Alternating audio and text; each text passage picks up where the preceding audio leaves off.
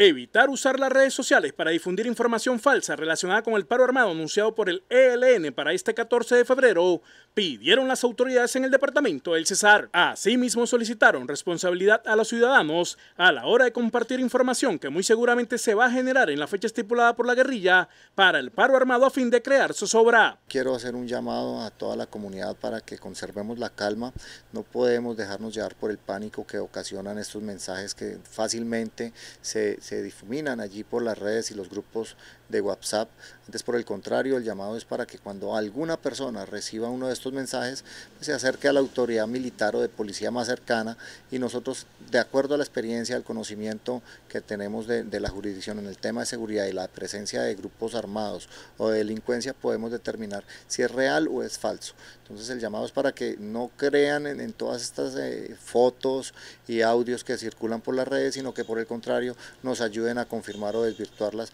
pero de una de una fuente oficial. Según la instrucción del Ministerio de Defensa, la fuerza pública es estar alerta y adoptar planes especiales para resguardar la población civil y a la infraestructura vial y energética.